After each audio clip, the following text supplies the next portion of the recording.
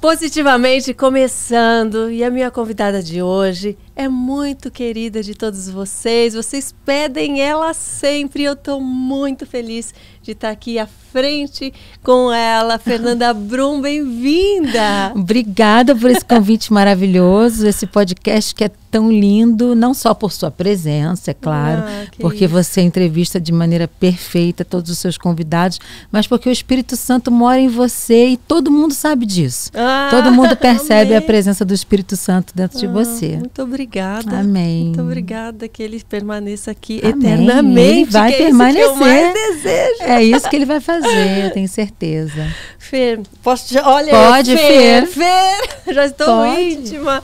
É tão bom quando a gente se sente à vontade, né, na uhum. presença das pessoas e você faz com que a gente se sinta à vontade logo de cara. Ah, obrigada. Viu? Muito obrigada. Obrigada, a você, obrigada a todos vocês por me chamarem, por pedirem. Olha, o pessoal aí é realmente assíduo ali pedindo muito, muito, ah. muito. Eu sei que sua ah. agenda é bastante cheia. Né? Mas né? não tão cheia para eu não vir, não então, faça isso. Não, mas eu me sinto lisonjeada, porque eu sei dos compromissos. Eu sei que você tem um compromisso já com o teu ministério, com, com, com os teus louvores, com o teu público, com a tua vida, né? A gente como poder mãe. conciliar tudo como mãe, esposa. Mas sempre dá um jeitinho para o que a gente quer, né? não é né? verdade? Com certeza. Eu aprendi que distante é um lugar que o coração não conhece conhece. É. Né? Nada é tão longe que o coração não chegue lá, né? Então, para o coração é sempre perto. Sim. E você chega no coração das pessoas Amém. através da sua voz, né? Em nome da sua de música, Jesus. isso é tão bom, né? Amém, é sim. Mas eu quero saber como começou tudo isso. Eu vou lá Uau! no princípio. Eu sei que muita gente já sabe da sua história, mas alguns são novos aqui e, e querem aprender com a caminhada de cada convidado, né? Sim. Como começou a tua caminhada com Deus, a tua caminhada de fé? Minha caminhada começou aos 5 anos de idade, quando meu pai, que regia um coral, me colocou para cantar uma música na igreja do R.R. Soares. Eu tinha cinco aninhos. Sua família já era cristã, seus Toda a minha família, sim, mas meu pai estava desviado um tempo. Minha mãe veio para Jesus por causa de uma cardiopatia.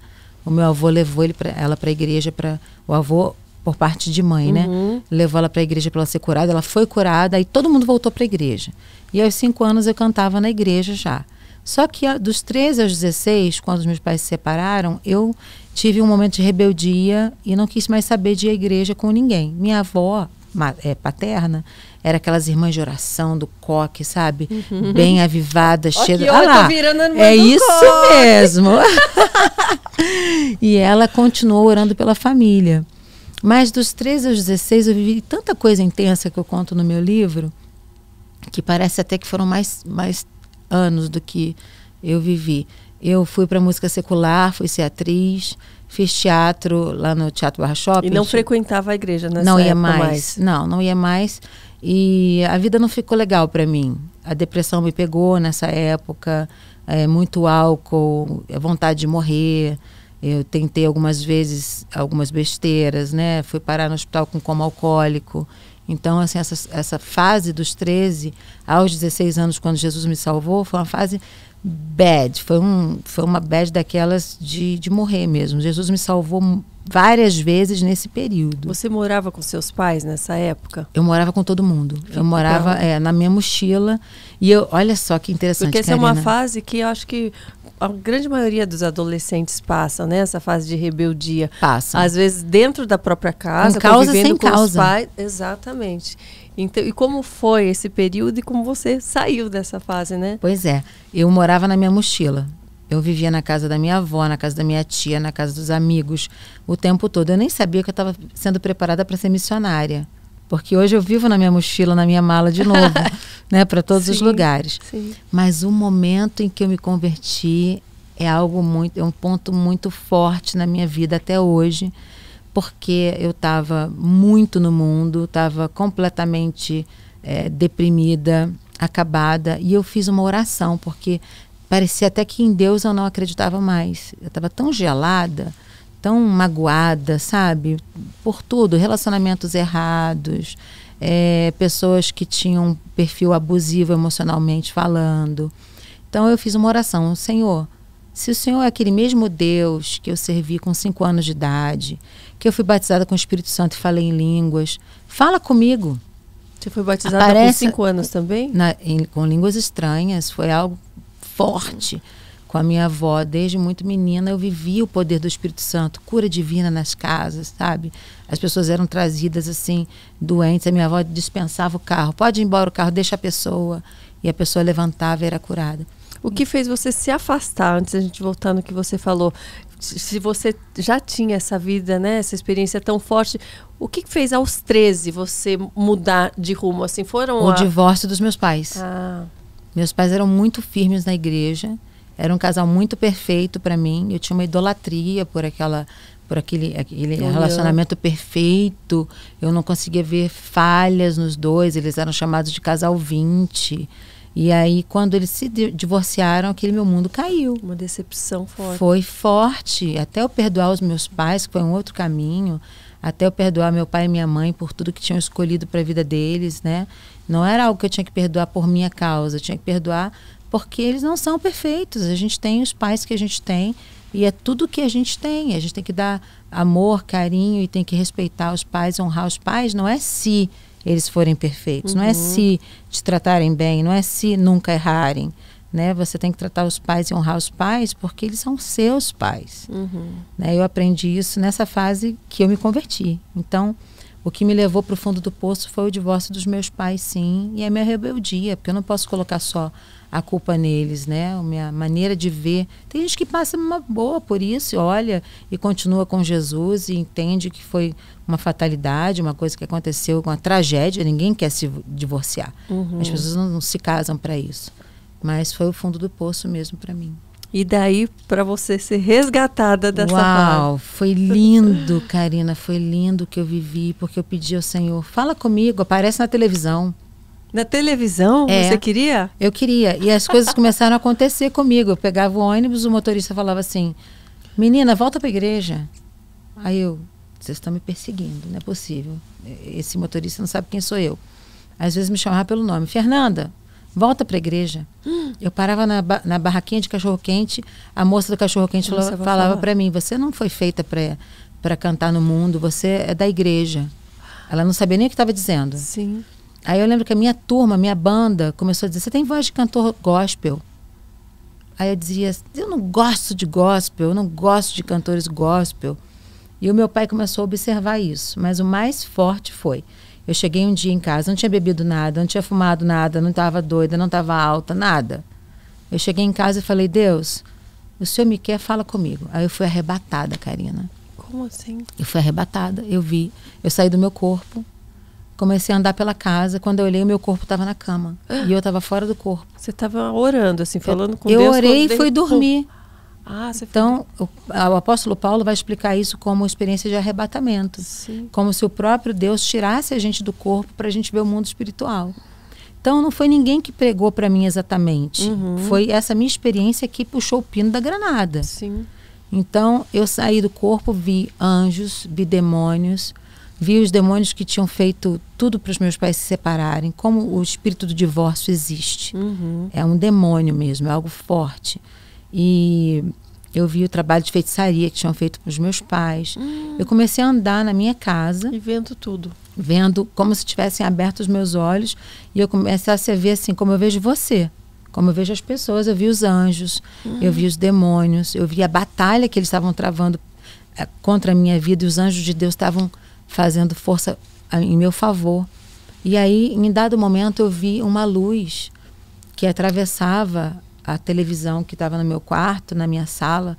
Na, nessa hora estava na minha sala já. Eu conto isso no livro com muitos detalhes. Não tinha mais ninguém na sua casa ali? Não, minha mãe estava no quarto doente, deprimida. Eu vi, quando eu levantei, eu vi minha mãe deitada e eu continuei andando na direção da sala. E você não ficou assustada no começo? Eu não Ou fiquei. Não, estava tranquilo. Quando eu ia ficar com medo, é, escrevi assim no meu, no meu peito umas letras douradas e eu sabia que era não temas, mas não era no meu idioma. Hoje eu entendo que estava em hebraico. Hum. Eu não sabia que existia, nem que existia o idioma hebraico. E eram letras como, sabe essas esses colares que a gente escreve o nome da uhum, gente, assim, uhum. de ouro ou de bijuteria, seja uhum. o que uhum. for, só que aparecia aquelas letras grandes, assim, não temas, e era o contrário. Hum. Só que eu conseguia ler no meu espírito. Gente. Não temas. E aí eu cheguei na sala como boa filha de crente, quando eu vi um trabalho de feitiçaria feito contra os meus pais, eu fui jogar fora. Fui meter a mão para jo jogar fora. Naquela hora, os demônios começaram a rir de mim, porque eu não tinha autoridade para jogar aquilo uhum. fora. Os demônios começaram a rir de mim e eu fiquei chateada com aquilo, né? Falei, não pode, eu conheço o nome de Jesus. Eu conhecia uhum. o nome de Jesus. Eu não conhecia o Jesus poderoso que podia me salvar e que podia tirar os demônios dali. Sim. Eu não tinha base legal, né? A minha vida não condizia com aquilo que eu cria, com o que eu pregava. Sim. E às vezes até eu comunicava a algum amigo. É, você dava legalidade para eles pra estarem eles ali fazerem, trabalhando. Exatamente. Então, eu não tinha nenhuma, nenhuma autoridade espiritual para aquilo. Quando eu vi que eu não ia sair daquilo, Karina, eu clamei no meu espírito, dentro de mim, eu falei: o sangue de Jesus tem poder, Senhor, me socorre. Quando eu clamei, a porta da minha sala se abriu e parecia maior, e um anjo enorme apareceu na porta. Ele tinha cabelos para trás, assim como se ele tivesse um, um coque samurai, vamos dizer, uhum. cabelos brancos como prata, assim prateados mesmo, brilhava. Eu conto para você como se estivesse vendo agora. E uma roupa branca muito grande. Ele entrou, não falou comigo, não falou assim, diz o Senhor, não apontou para mim, não fez nada. Ele entrou, jogou fora o trabalho de feitiçaria e tudo que tinha cor foi ficando em glória, foi ficando branco, Gente. branco, branco, branco. Nenhuma cor resistia àquela glória que ia entrando uhum. na frente do anjo. Ali eu tive certeza que Deus estava falando comigo. Uhum. E uma luz me atravessou o peito quando ele saiu, tirou os meus pés do chão e eu fiquei no meio do caminho assim. E aquela luz era como voz de muitas águas, era como muita luz, era como uma voz de trombeta forte, grossa, era, era intenso em mim. Uhum. E aquela voz falou comigo assim: Não te deixes vencer, pois tu podes morrer sem a luz do céu ver. Lá do alto da cruz, jorram raios de luz que te podem iluminar. Só então has de ver, nunca mais vais morrer, pois Jesus veio para te salvar hum. e me soltou. Nossa. Aí quando aquela luz me soltou, eu pensei, será que eu estou morta? Eu pensei. Mas eu sabia que eu não podia estar morta porque eu tinha que confessar a Jesus. Uhum. Aí eu voltei para o meu quarto. E aquela mesma voz que escrevia em mim, aquela mesma palavra que uhum. aparecia, disse: Deita na sua cama. Deus falou comigo. E o nojo de deitar no meu corpo, porque quando a gente está fora do corpo, a gente tem outra sensação do mundo espiritual uhum. e a uhum. carne, né, miserável corpo dessa morte, é a nossa carne, o apóstolo Paulo vai dizer. Então eu deitei no meu corpo e bati sentada na hora.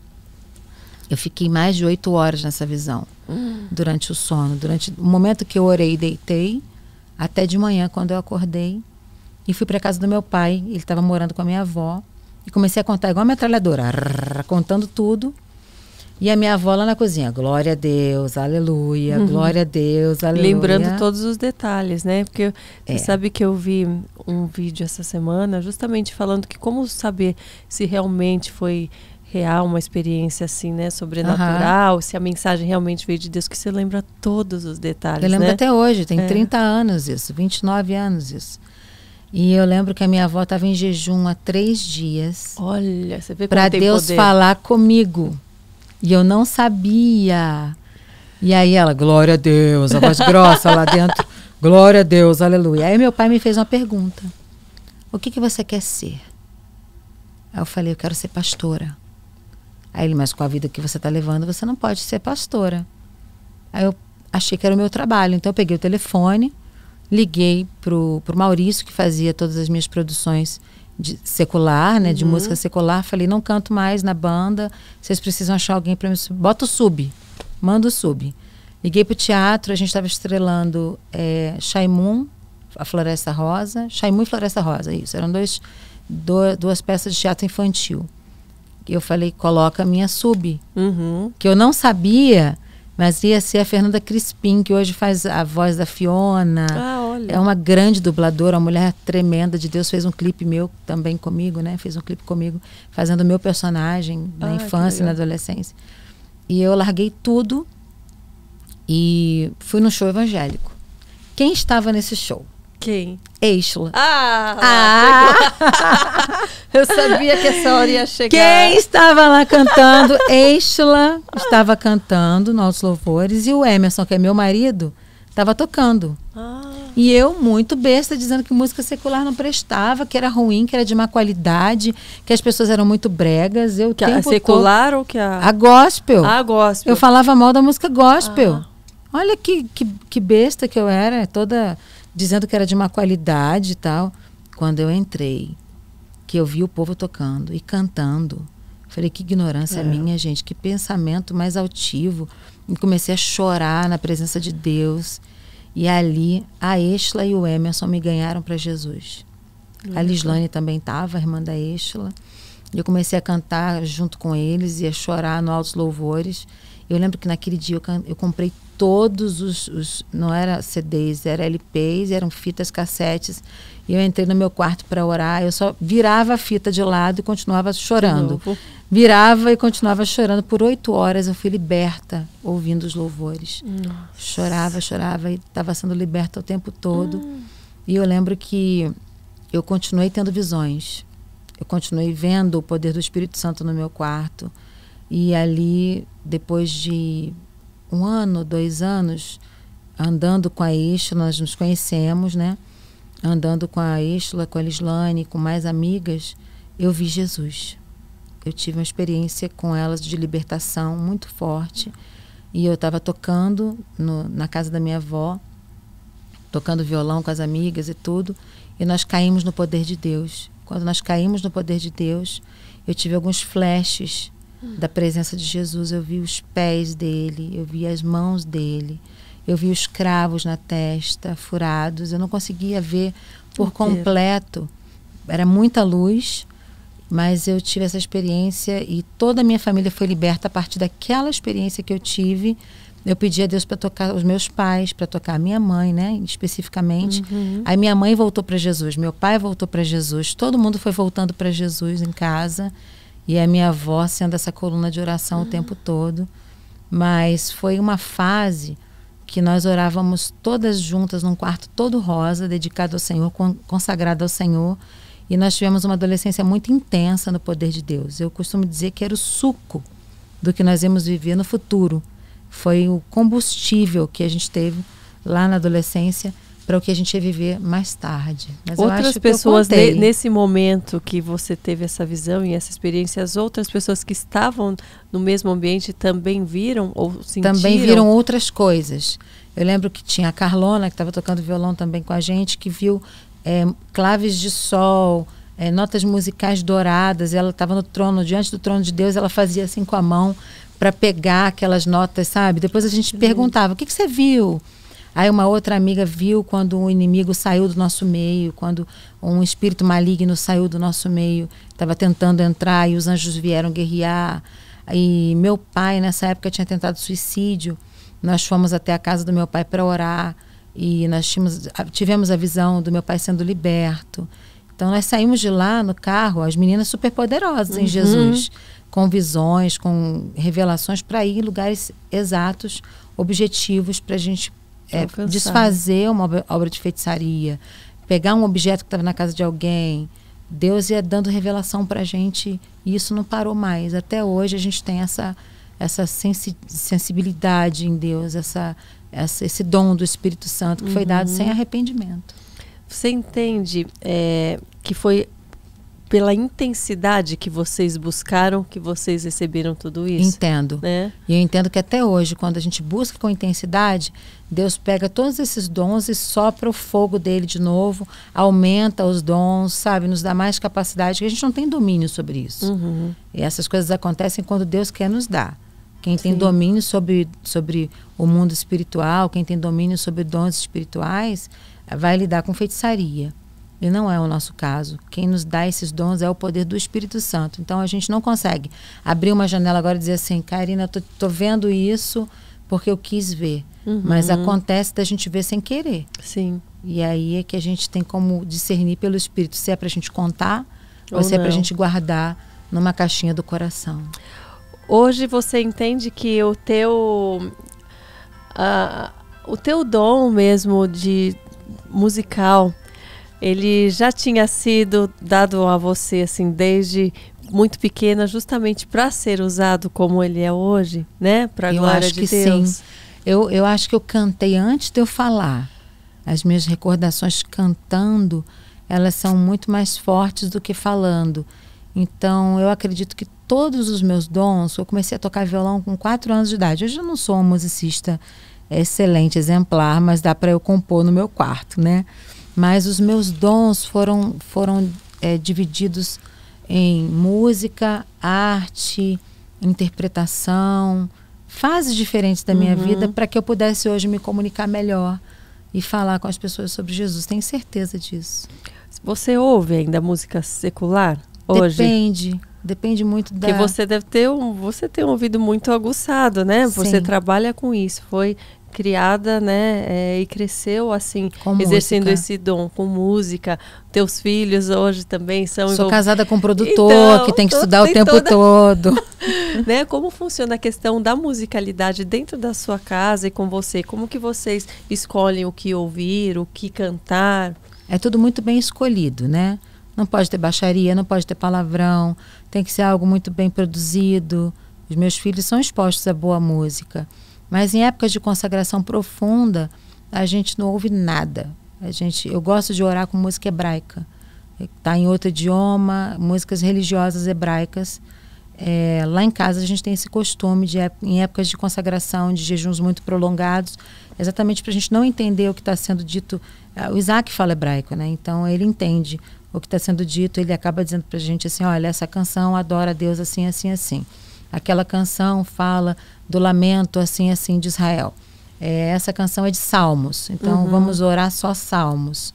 E aí a gente tira um tempo para orar em línguas e para orar também em hebraico, mas por puro é por costume, não é algo religioso, não é algo que a gente faz. É só para talvez não se deixar influenciar pela letra. Você está completamente entregue, né, a musicalidade sim. ali, mas não, não, prestar atenção na letra. É mais respirando Isso. a oração, que a gente acredita que aqueles aqueles breathings, quando a gente ah, Jesus, isso para mim já é uma oração profunda sabe? Uhum. Então, no tempo de busca, de oração em línguas, de oração em jejum, a respiração faz parte da oração também. A gente tem esse costume lá em casa. Então, tem sido tem sido um modo da gente orar pessoal. Eu estou abrindo hoje para você, mas é muito, muito íntimo.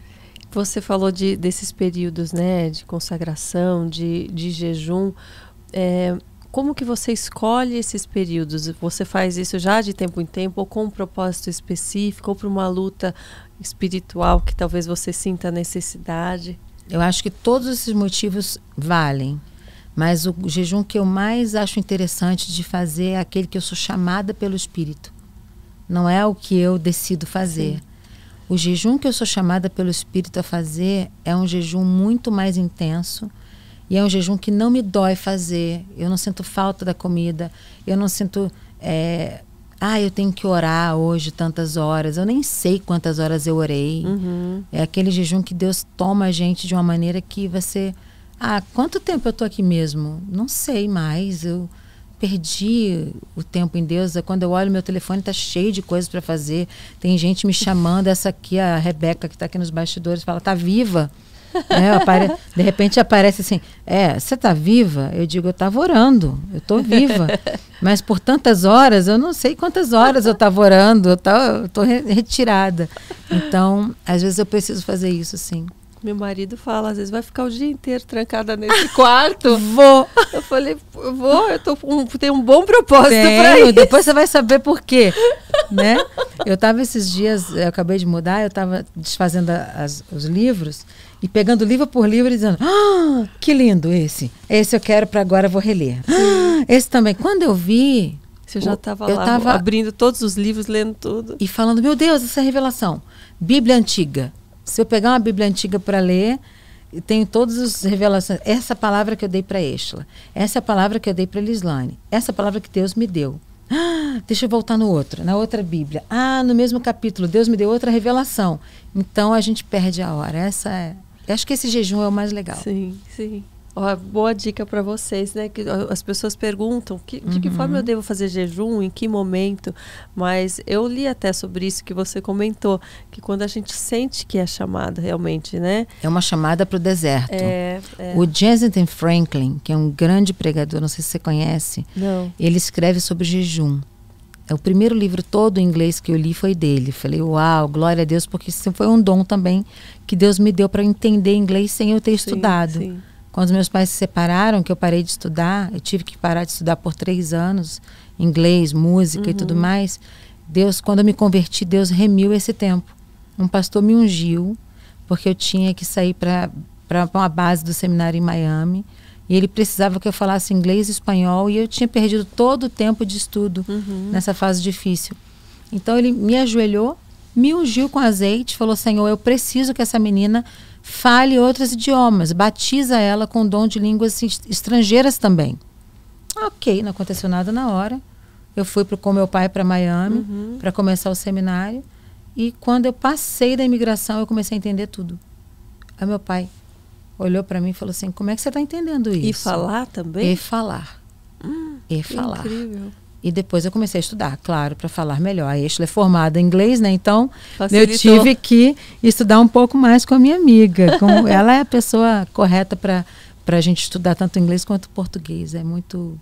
Sabe que eu sou fã, né? Então ela é muito perfeita nessas, nessas, nesses detalhes maiores aí. Você acredita que grande parte do, do crescimento né, espiritual, do crescimento da fé, tem a ver com as amizades que a gente escolhe, que a gente vai convivendo ao longo das nossas vidas? Perfeito, perfeita a sua colocação. Se você escolhe gente que não vai agregar, que não vai buscar com você, dois caídos não se levantam, né, Karina? Você tem que levantar para depois levantar o outro. Dois caídos vão continuar caídos.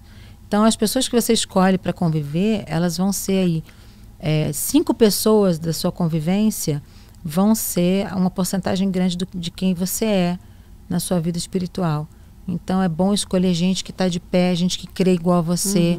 Não pode andar com pessoas de mais conversações, com rodas de escarnecedores, pessoas que vão botar sua fé em dúvida. Claro que você tem que evangelizar, mas para o seu dia a dia as pessoas têm que ser de fé. A minha avó, quando ia orar por alguém enfermo, ela dizia assim: fica aqui só quem tem fé. Olha só. Quem não tem fé pode ficar ali fora esperando só um pouquinho. E assim a gente viu várias situações de ressurreição, várias situações de cura divina, várias situações de alguém que estava com a perna para ser amputada, ser completamente curado de câncer. Por quê? Não tinha o espírito da incredulidade junto. O espírito da incredulidade vai sempre quebrar essa corrente da cura divina. Mas tem milagre também que Deus não pergunta nada a ninguém, vai lá e levanta a pessoa, não depende nem da sua oração, nunca depende da gente. Mas tem algumas coisas que são maravilhas que Deus faz, que você querendo ou não vai acontecer. Eu acho que essa é a importância também da igreja, né? De a gente escolher aonde né, Congregar. congregar, né, com quem você está lá, porque tem muita gente às vezes que não tem a, a companhia no círculo de amizade, igual. ninguém que partilha da mesma fé. Ela fala, vou buscar onde? É. Às vezes fica só na internet, mas é importante essa convivência, Não, né? a convivência na igreja é indispensável. É muito bom estar na internet, é muito bom assistir vários cultos, mas na hora que você está no hospital, você chama quem? É. Quem é seu pastor? Quem é seu melhor amigo, sua melhor amiga? Quem foi a pessoa que passou contigo esse deserto, que segurou a tua mão e chorou contigo? Quem é essa pessoa? Então é importante sim você escolher muito bem seus amigos.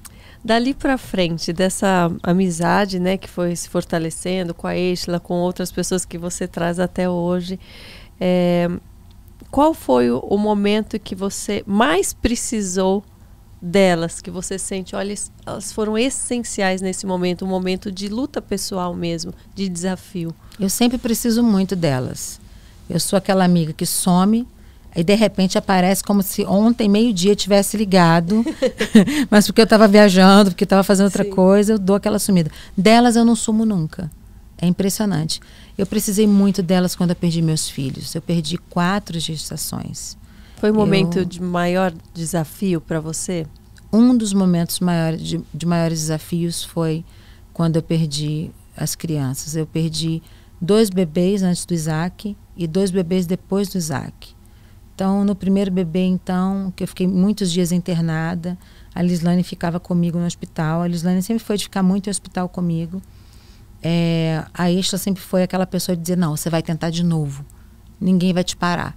Você vai mais uma vez. Você vai tentar outra vez, Deus vai te dar um filho, você vai conseguir. Porque a Isla engravidava assim, muito fácil.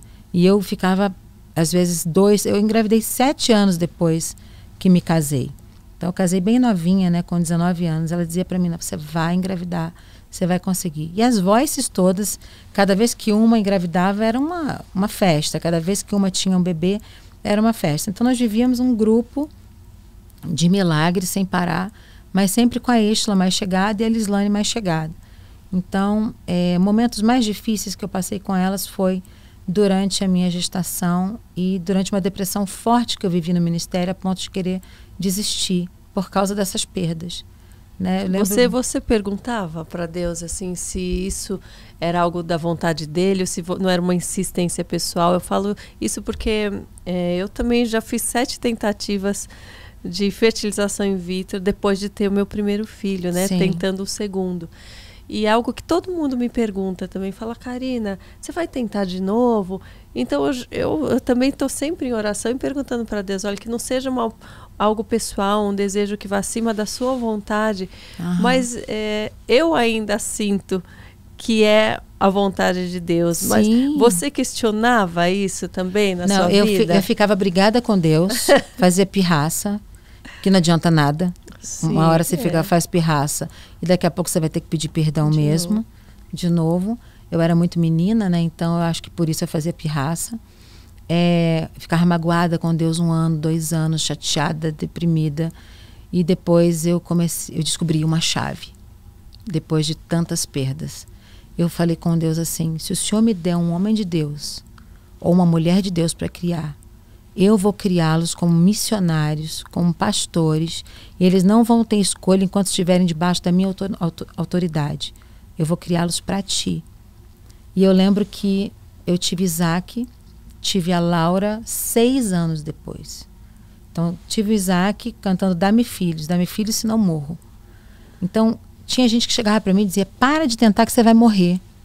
Eu não tinha esse sentimento, sabe? Eu tentava eu, eu não tenho uma palavra para te dar, por exemplo, Karina, não tente mais. Eu sou uhum. eu sou a Fernanda Brum da Mi Filhos. Eu vou dizer, tenta até acontecer. Continua tentando, porque o sopro de vida quem dá é Deus. Então não importa se você está fazendo inseminação in vitro, se você está fazendo a tabelinha, vendo que dia você está fértil. Não importa, importa que você tem no coração essa vontade, você é essa mãe já em potencial. Você já é mãe dessas crianças que não vieram ainda. Dentro de você, você já é essa mãe. Então eu sou mãe de seis. Não importa se eu perdi quatro e dois estão vivos. Eu sou uma grande mãe. Eu sou mãe do filho dos outros. Eu sou mãe do Mateus, sou mãe do Lucas, eu sou mãe da Isabela, da Manuela, eu sou mãe. Sabe, às vezes alguém tem que me puxar e dizer assim, Fernanda, você é mãe só do Isaac e da Laura. Para de ser mãe de todo mundo, Sim. né? Eu sou mãe da Maitê, eu sou mãe de todos os filhos das minhas amigas. Então, uhum. eu sou mãe das, do, dos filhos da minha irmã da Marcela e do Rian. São, são crianças que eu estava lá na, no nascituro, na hora da minha irmã ter os bebês também, eu estava lá. Né, o Matheus, eu tirei, eu fui, peguei ele na mão primeiro que a Estela, foi eu que peguei ele e trouxe para a Estela amamentar. O Lucas foi a mesma coisa. A Marcele, que é filha da minha irmã, também eu peguei assim, primeiríssima, né? Foi para ela logo pelo médico, mas eu estava lá, no caso da minha irmã. Então eu sou uma mãe, assim, você não tem ideia. Perguntar para mim, você dá vontade de Deus que você tem um filho, eu vou dizer, Olha, é vontade de Deus que você tenha dez filhos. Se eu pudesse, eu enchia a terra sozinha. Eu falo, é que se eu pudesse também, olha, se eu tivesse começado antes, eu Não tinha é. tido um seguido do outro, já Não tinha. É. Tava com a casa cheia. E dar mamar, e cuidar, e trocar fralda, gente. Que coisa boa que é ser mãe. Para você que está assistindo a gente agora e não é mãe ainda, continua tentando, que eu tenho vários testemunhos de amigas minhas que não tinham ovário, que não tinham útero, que não tinham trompas e que tiveram bebês. Então, então. vamos tentar. e você, apesar, olha, de você tem o, os dois filhos lindos, né? A, uhum. é, Laura, Laura, e o e o Isaac. E o a Laura Isaac. tem 12 e Isaac tem 18. E foram gestações que tiveram perigos que, que, que, pessoas desacreditaram, que os médicos falaram que não, iam, não ia acontecer, né? Sim. né? Não foi tão fácil, né? Não, não foi. Isaac foi o seguinte: O Isaac, ele parou o batimento cardíaco na minha barriga. Então, gente. Parou o batimento, eu fui no médico, um médico super super legal. Você sentiu que havia parado ou você estava Não. no médico e o médico que relatou? Eu comecei a sangrar. Comecei a sangrar e minha mãe falou: Isso é aborto. Eu não tinha a menor ideia do que era um aborto. E eu falei: Mãe, mas o que é um aborto? Ela falou: Você vai para o médico agora fazer uma ultra. A Lislane também falou isso comigo. E aí eu fui para o médico. Ele falou: Olha, você tem um ovo morto retido. Você não tem embrião. Quer dizer, eu tinha embrião. Tinha um ovo morto retido, eu tinha embrião e não tinha batimento cardíaco. Com quanto tempo ele Com quase estava? 10 semanas. Quase 10 semanas já era para ter batimento cardíaco. Uhum.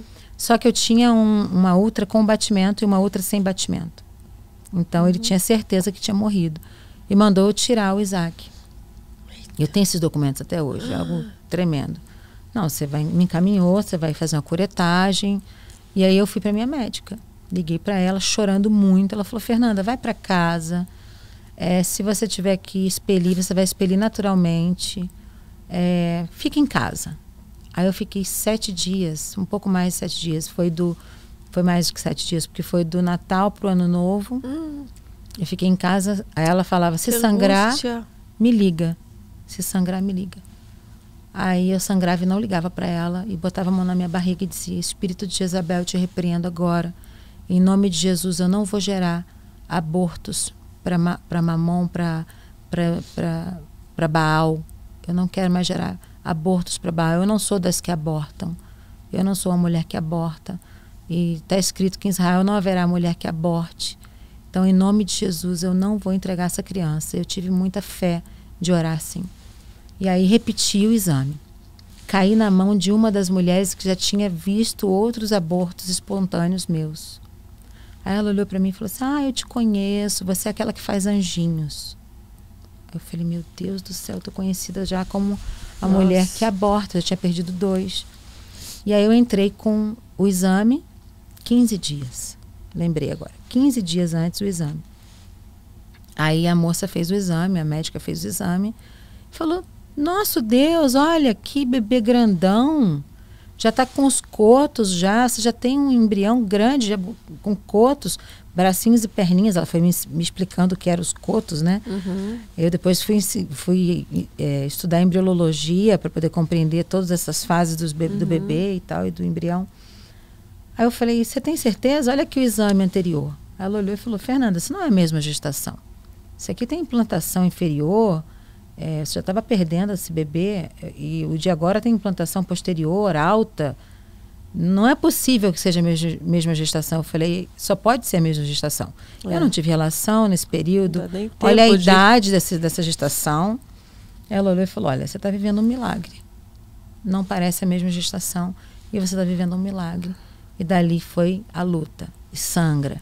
E fica em casa de repouso absoluto e perna para o alto. E Isaac, eu não tomei hormônio nenhum. Laura foi a mesma luta, só que com uma placenta rota. Uma placenta velha. Minha placenta envelhecia com ela e eu tomando hormônios, né, progesterona. A Laura já foi tratada como inseminada. Quando eu cheguei no médico, o médico olhou para mim, já sabendo da história, falou: "Vou te tratar como inseminada". Uhum. E começou a me dar hormônios, de manhã, de tarde, de noite, tomei muito hormônio da Laura. Mesmo assim, eu tinha dois profissionais de cada área na sala de cirurgia. Nós tiramos eh, sangue do cordão umbilical, porque a gente não sabia se ela ia precisar de célula-tronco Uhum. depois. Eh, foi todo um aparato, sabe, maior, que eles achavam que eu ia ter um problema. Alguma coisa ia acontecer com Laura, porque ela nasceu com 2 quilos e 400 gramas. Muito pequenininha. E se ela ficasse com 2 quilos, ia para o CTI. E aí eu decidi dar uma mamadeira para ela no hospital. Você imagina que loucura que eu fiz. Eu falei, não, para o CTI não vai, não façam isso em casa, ok? Fui eu que fiz isso, não é para fazer.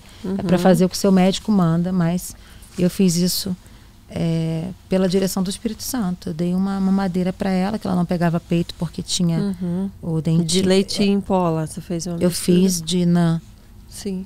fiz de nã, tudo muito bem escaldado, muito bem. É, Estava completamente é, é, estéreo, bem, Uhum. bem cuidado, bem limpinho. Mas eu dei, a médica falou: você vai matar sua filha. Você vai matar sua filha. Esse é um capítulo do meu livro. Você vai matar sua filha porque ela vai ter uma infecção gástrica. Você imagina para uma mãe que já tinha perdido quatro bebês. Essa, receber essa receber frase. essa assim. frase. Eu soltei o, o, telefone, fiquei sem pernas, assim, fui desmaiando. Hum. E a minha mãe, desliga o telefone, desliga o telefone agora. O que, que você ouviu? E ela disse que eu vou matar minha filha e desmaiei. Hum. Minha mãe me pegou de volta, falou: crê! Crê no que você prega, crê no que você prega. Crê no nome de Jesus. Você não vai matar sua filha. Senta no seu lugar. Eu entrei em choque, né? Fiquei em choque. E aí trouxeram a Laura para o hospital. Aí ninguém tirava ela de mim. Eu fiquei com ela comigo. Eu falei, ninguém tira ela daqui porque depois vão dizer que fui eu que dei alguma coisa. Uhum. Se ela fizer cocô sangue, vão dizer que fui eu. E a minha mãe foi um, foi um caminho para minha mãe e a Elislan me convencerem de entregar a Laura para poder trocar o plantão. Né? Eu, no, no, livro eu conto detalhadamente o que aconteceu. Sua avó ainda era viva? Infelizmente não. não. Infelizmente não, porque minha mãe nessa hora falou assim: eu vou fazer a oração que a minha sogra fez por mim quando eu não tinha leite quando você nasceu. Olha. Aí minha mãe abaixou, colocou a mão nos meus seios e falou: Deus da Diogresa, olha que coisa linda que é você ter né, fé de geração em geração, como Deus visita sim, sim. de geração em geração a fé dos pais, dos, dos avós, né, até os filhos. Essa é tem a maldição e tem a bênção hereditária. Ela colocou a mão em mim e falou assim: em nome de Jesus, Deus da Diogresa, Deus de Abraão, Isaac e Jacó, o Senhor que socorre com leite, assim como o Senhor socorreu a mim. Socorre a minha filha agora. Aí eu comecei a dar leite, querida. Eu comecei a dar leite, hum. que eu tinha que tirar, eu tinha que doar, eu tinha que tirar na bomba, né? E Laura mamou até uns três meses, porque eu tive que voltar para a estrada mas ela ainda ficou no peito, aquela luta, tira na, leite, na, ela tinha a língua presa uhum. e não uhum. abocanhava direito, mas eu tirava o leite, dava uma madeira, dava o complemento, dava o leite, você falei, você vai mamar o meu leite, você vai mamar o meu leite o quanto eu puder te dar, e eu fui, assim, é, tratada por Deus pela fé, porque que toda lindo. hora, todo mês era, será que vai viver? Será que vai morrer? Será que vai viver? Sim. E eu tinha que ficar olhando para ver se respirava, se não respirava. Todo dia era um dia, Karina. Na barriga e fora da barriga. Todo dia era um novo dia para eu saber se ia viver, se ia morrer. Uhum. Se ia viver, o que que tinha. Sabe? Tudo. E não tinha nada. Eu tinha que ter fé para cada dia. De tanto trauma que eu tinha vivido. Uhum. Dos abortos e, espontâneos. E ela foi a última gestação? Foi a última gestação. E eu não evito eu não, não, não sei por que não tenho mais bebê. Estou com 45 anos, de repente, ui, quem sabe? Quem sabe, né? Já pensou um temporão? Pois é. Né? E o meu marido também não sabia, achava que a culpa era dele de não, não engravidar. Eu ia te perguntar justamente sobre isso, né? Porque a gente sabe que esses períodos, né, de tentativa de filhos é um desgaste emocional não só para a mulher a gente fala muito da mulher mas o homem também apesar de às vezes não demonstrar ou não estar tá sofrendo fisicamente é. né é um, é, é um desafio ali de trabalhar o psicológico muito Sim. forte. Como foi para ele, junto com você, enfrentar esse período? O fato dele ser cristão também, você acha que isso ajudou? Ou também todos sofrem, mesmo que às vezes mais calados naquele momento? Eu acho que para ele foi muito pior. Sério? Porque ele tinha a dor dele, tinha a minha dor. E ele tinha uma dúvida, que depois a uhum. gente tirou no médico essa dúvida. Ele tinha tido câncer aos oito anos de idade, ele teve leucemia e foi curado. Meu marido é um milagre. A mãe dele tinha consagrado ele, filho único também. Olha. Eu filha única, ele filho único do casamento. Eu sou filha única do casamento dos meus pais. E eu tenho irmãos de outros casamentos do meu pai e meio irmãos, né? Uhum. Que para mim são irmãos inteiros. É, e ele achava que por isso alguma coisa podia estar tá acontecendo. Depois nós fizemos exame e não tinha problema nenhum com ele. Mas ele, ele lembra que achou um caderninho que eu escrevia, que era o diário do bebê. Eu dizia: hoje vocês têm, você tem três meses. Hoje você tem 16 semanas, quatro meses. Hoje você tem, hoje você já tem cabelinho. Hoje você já tem ouvidinho de crianças que eu que eu tinha perdido, gestações que eu tinha levado até mais mais tempo. Uhum. E isso acabava com ele. Mas por outro lado, fazia ele fazer canções lindas, né? Ele fez o Quebrantado Coração. Ele fez Amo o Senhor.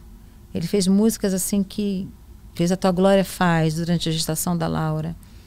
Mas ele sofria muito mais do que eu e eu não via. Uhum. Ele não queria tava, passar Não você, passava, né? ele era uma rocha. Mas eu chorava e ele segurava o choro. Ele contava para Estela, porque a Estela é uma amiga em comum, né? Uhum. Nós somos um triângulo de, de, de amizade uhum. e família, algo maravilhoso.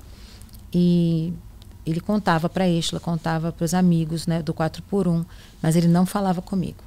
Ele ficava orando e ficava como uma rocha. Eu até agradeço a Deus por isso, porque eu tive um ombro forte nesses momentos. E eu acho que se ele tivesse desabado, talvez a minha fé tivesse sido abalada, que uhum. foi algo que eu não abalei hora nenhuma.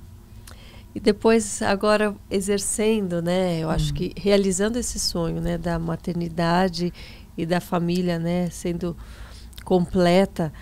É, vocês passaram alguns desafios também, ou ainda passam como família. Como casal? Como casal, Muitos. como pais. Muitos. Como casal, eu tenho 25 anos de casada, né, Karina? Porque tem gente que, que acha tudo né, tão descartável hoje em dia. Eu acho uh -huh. importante esse exemplo, porque mesmo sendo um casal onde os dois são cristãos, que partilham da mesma fé, existem desafios para serem superados e não né, um casal que no primeiro desafio descarta tudo.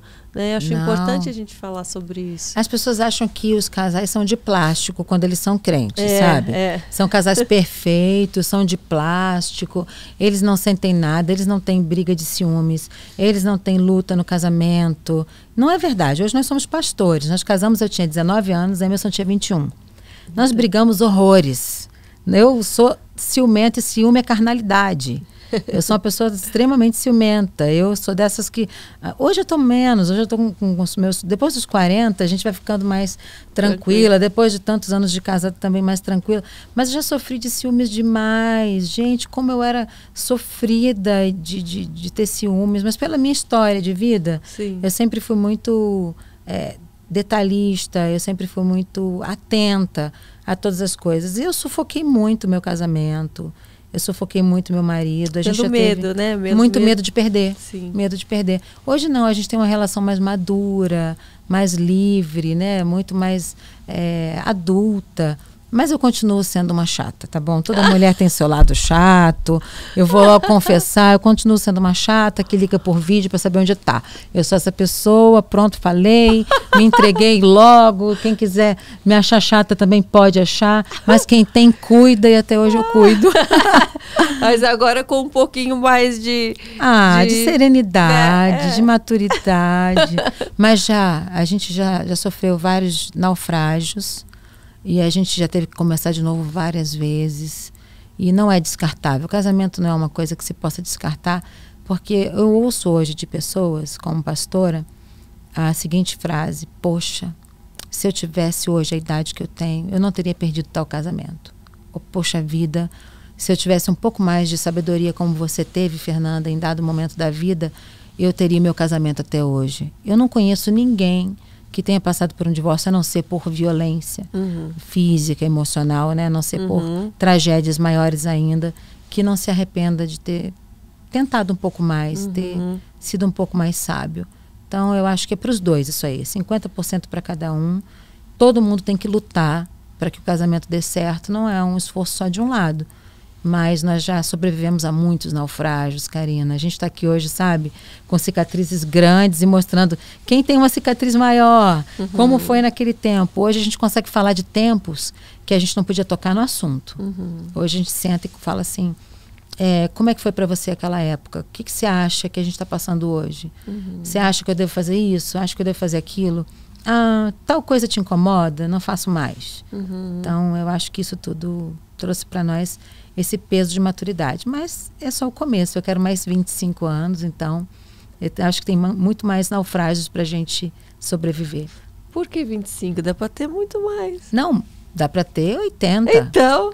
Mas eu acho que Jesus vai voltar antes. Antes, é. É, eu sempre acho isso. 50 anos de casado é uma festa, Mas né? aí, cê- quando a gente vai depois, né, que a gente for arrebatado realmente, a gente vai continuar como casal? Nós Ah, eu casais queria. aqui? Vai, eu tô achando que Ah, vai. eu queria tanto. Então vai ser bem mais que 25, eu é uma acho. eternidade, não é verdade? Você sabe que tem gente que fala que não, que não vai ter choro, que por isso que a gente não vai se reconhecer.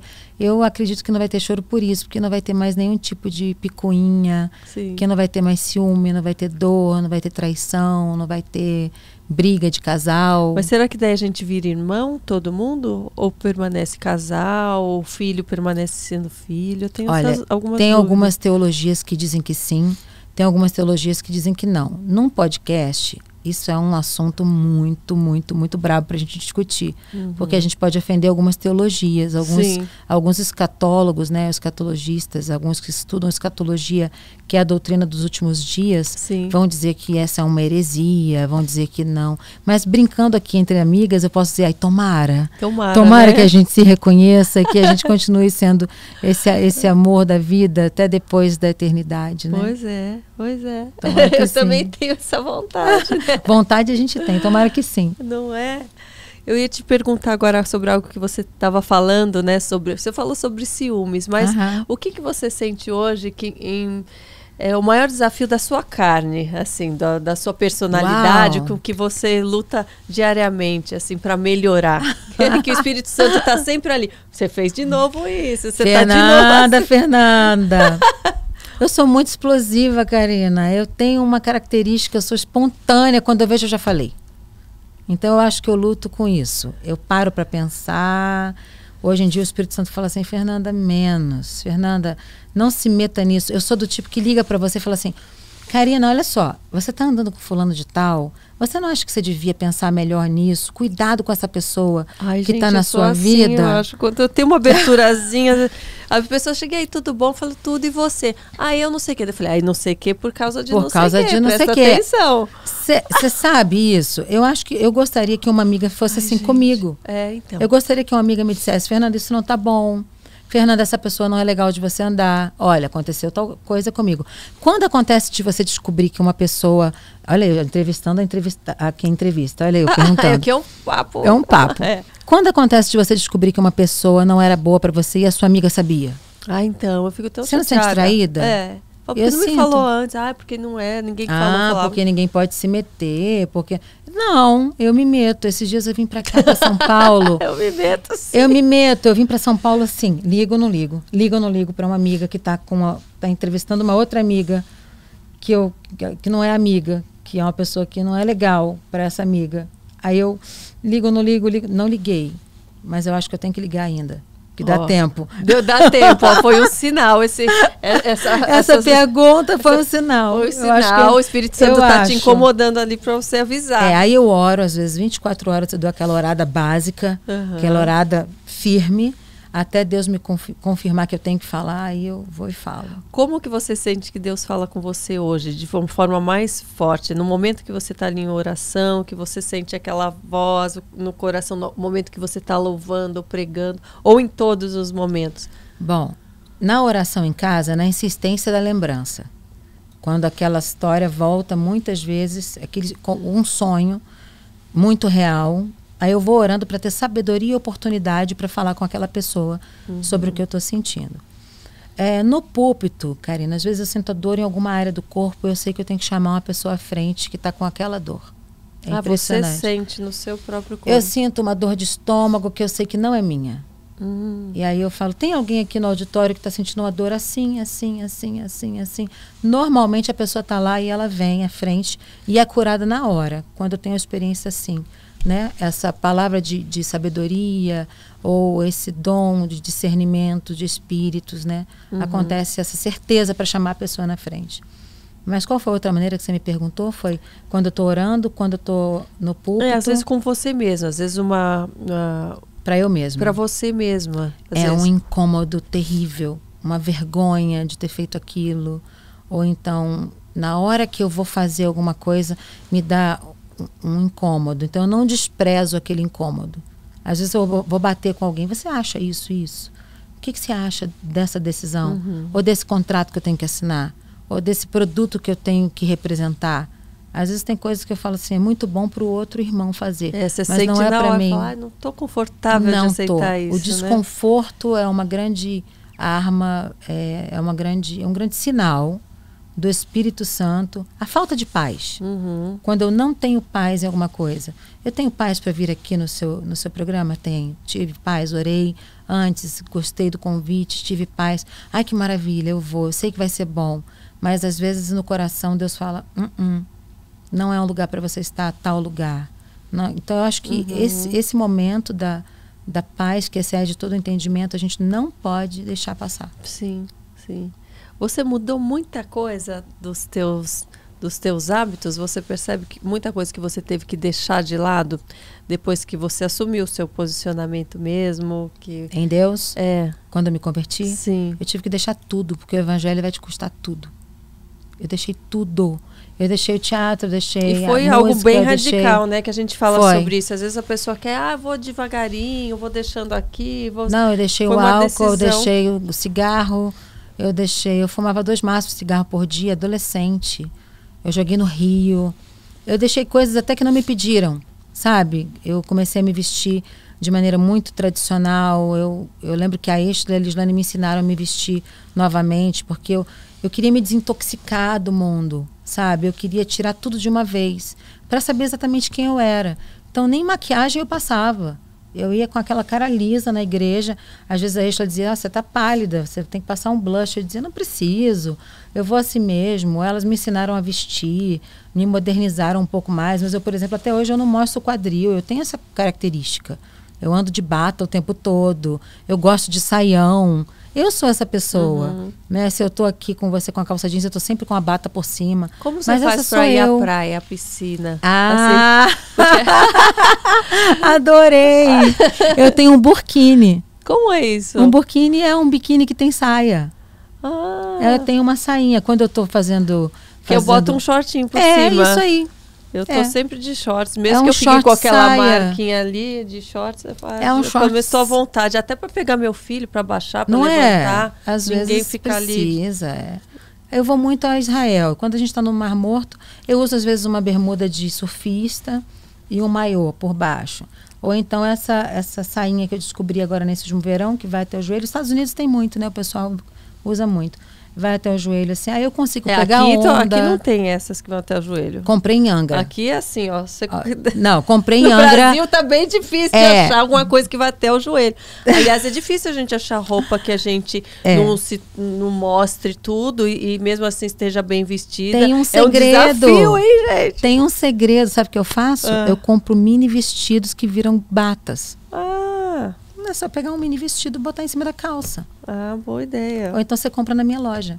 Ah lá, ah, tem a sua loja de roupa Tem também? a minha loja de roupa também, a loja Fernanda Brum. Ah, Aí eu vendo essas roupas que eu uso, essas batas, essas camisetas que eu uso, ah, essas batinhas que eu inventei, o pessoal copiou, eu adorei, né? Eu quero mais que copie. Então, que todo mundo fique decente. Que bom, eu também uhum. tenho procurado, assim, eu falo que uhum. é, as pessoas, muitas é, que não, não sentem assim, essa revelação e esse, essa esse toque do Espírito de manter Santo decente, mesmo, né? acha que não tem nada a ver, mas é tem. Tem muito a ver. O Espírito Santo toca na gente. É, até eu estava fazendo uma live esses dias e perguntava, mas aonde está na Bíblia que não sei o que da forma de vestir?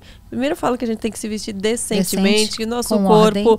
né, o nosso corpo é templo do Espírito uhum. Santo. Eu falo, se Jesus estivesse aqui na sala com a gente, você ia estar à vontade de estar vestida assim, de frente para ele, uhum. ia estar à vontade de rebolar uhum. assim até o chão, de frente para Jesus.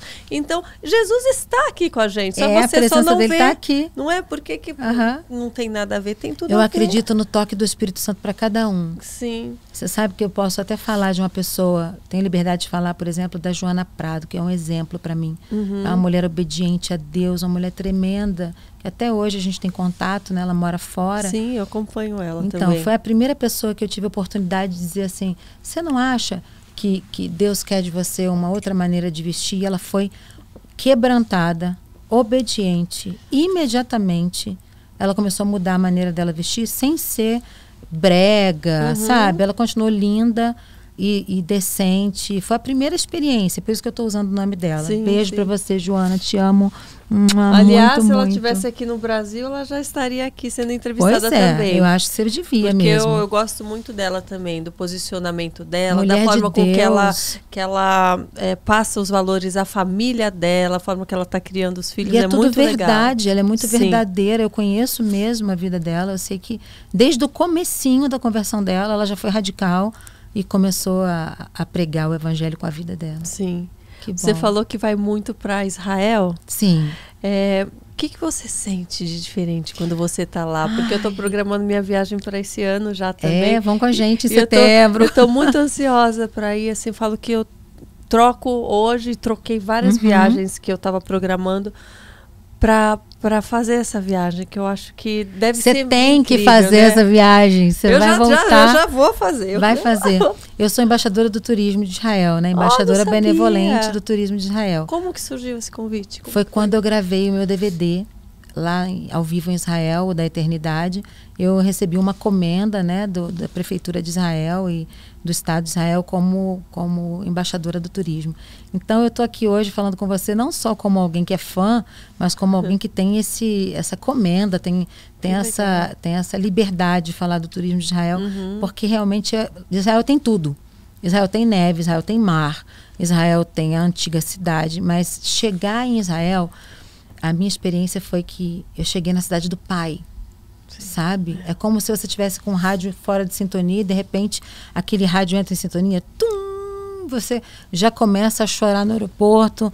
Do aeroporto você já sai querendo conhecer os lugares, você começa a andar nas páginas da Bíblia. Deus. Foi aqui que isso aconteceu com Davi, foi aqui que isso aconteceu com Jesus, foi aqui que ele andou na Via Dolorosa, foi aqui que ele caiu. É muito forte e você volta sabendo mais a Bíblia. O bom de Sim. Israel é isso. E eu, toda vez que vou a Israel, me emociono de uma maneira diferente, sabe? Eu fui com meu filho também, fui com a minha filha, batizei os dois no Rio Jordão. Eu sou dessas que tem que ir a Israel pelo menos duas vezes por ano.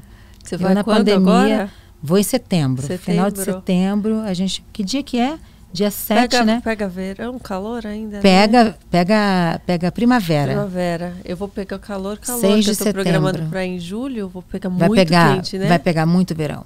Se prepara. É Ai. pior que o Rio de Janeiro, verão lá. Ou melhor, né? Levam os vestidões, o segredo é cobrir os ombros e os jo- joelhos sempre. Sim. Levam os vestidões, leva muito lenço, muito scarf, Sim, muito lenço para cobrir nos lugares santos, né? Onde as Claro. pessoas têm o costume de, de cobrir os ombros e vai na fé. Para criança você indica? Porque, Indico. porque eu tô indo com meu filho que é pequeno. Ó. Ele Tenho tá meus quantos pais anos? quatro e meio. Tá ótimo. Ele vai fazer cinco, né? Até lá. E, e eu comentei que eu estava vendo essa viagem e tal, e eu senti um interesse tão grande da parte dele. Ele falou, mamãe, eu quero ir. Leva. Onde Jesus andou, é. Onde Davi passou, eu quero ir, mamãe. E ele, todo dia, ele pergunta, já está chegando a nossa viagem onde Sim. Jesus andou? Ele tá tão ansioso que eu tô tão feliz por eu isso, levo crianças sabe? na caravana, levo os meus filhos, por exemplo, a Laura foi com sete anos, né? Isaac foi com nove. Mas a Valentina, por exemplo, foi com quatro. Olha, Eu já então. tive bebê de bebê conforto, assim, nas nossas caravanas. O primeiro é que quando eles já são maiores, eles viram da caravana. Todo mundo cuida dos filhos de todo mundo. Uhum. Eles vão de colo em colo, daqui a pouco vira uma Não família. precisa levar nada para carrinho, essas coisas só atrapalha, acho, Você né? pode levar um carrinho daqueles, daqueles De abrir e de fechar? abrir e fechar.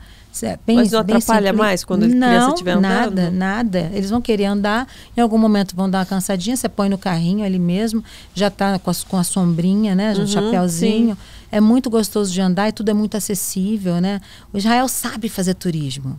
É maravilhoso. E para nós não é turismo só. Para nós é busca intensa do poder de Nossa, Deus uhum. e da palavra. Eles sabem, respeitam isso para cada um que chega lá. Então, pode levar teu filho à vontade. Você vai ser muito bem recebida, vai passar muito bem na alfândega, na migração. Vai ser é delícia, delícia para Israel. Ai, que bom. Ainda mais com Gente, criança. Eu tô muito ansiosa para essa viagem. Você vai amar. muito, Você vai dar uns mergulhos Porque não é uma viagem comum, é o que você Não falou, é. é. um encontro. Não é, é um choro. É uma vez, Nossa. uma, uma experiência boa que eu tive de Israel. Eu cheguei e cheguei na minha cozinha. Tinha uns 15, 20 dias que eu tinha chegado de Israel. E de repente eu comecei a chorar alto e não sabia por quê. Chorar alto assim de. Ah, o meu coração sentia falta de alguma coisa. Minha mãe falou: pelo amor de Deus, menina. Você está chorando desse jeito? O que, é que aconteceu? Minha mãe tem aquela coisa de alguém está chorando, alguma coisa ruim vai acontecer, sabe? Aquelas coisas do, dos antigos. E eu chorei falei, deixa eu discernir que choro é esse. Meu Deus, porque eu estou chorando desse jeito e falando em línguas e chorando, muito intensa, né? Eu sou intensa. E estou eu chorando e falando em línguas e chorando. Aí eu parei e falei, eu estou com saudade de Israel. Me deu uma saudade de Israel. Que é com a pandemia também agora. Agora, agora, também, também tive. Ficou, né? Fiquei. Pior que fiquei e ligando sem parar para os amigos que não me aguentam mais. Eu ligo lá em madrugada e eles têm que me aturar. Eu tenho que pergunto como é que tá, como é que não tá, como é que tá, tá uhum. a área que a gente não foi ainda. Cada vez que você vai a Israel, você descobre uma área diferente. Então não pode ir uma vez só. Você tem que ir uma vez por ano. Uma vez a gente volta falando que vem em Jerusalém. Eu já vou pegar suas dicas, hein? Vou Olha, já vou dicas. trocar aqui Anota para você me Começa passar. pelo deserto uhum. e vai subindo para Jerusalém antiga. Começa no deserto, agora tem uma atração nova em, em, no deserto que é a Gênesis. Vou até dar um spoiler aqui para vocês. O Gênesis, que que é? você está no deserto, né? Você pode ir para o Mar Morto, que deve ir, tem que ir. Come toda a comida do deserto, passa onde Jesus passou os 40 dias e 40 noites passa é, é, em áreas específicas do povo de Israel, mas essa, essa atração Gênesis, é, você entra e está lá Abraão e está Sara. São atores uhum. que estão lá e eles contam toda a história da vida deles como se fossem o próprio Abraão e a própria Sara da época, contando, Nossa. tipo, ah, Isaac está ali, Ismael está ali, nós estamos aqui, eles preparam a comida para gente, sentam para comer com a caravana. É muito interessante. E ali você aprende a Bíblia. Com eles. Só esse spoiler para você que vai com a gente em setembro.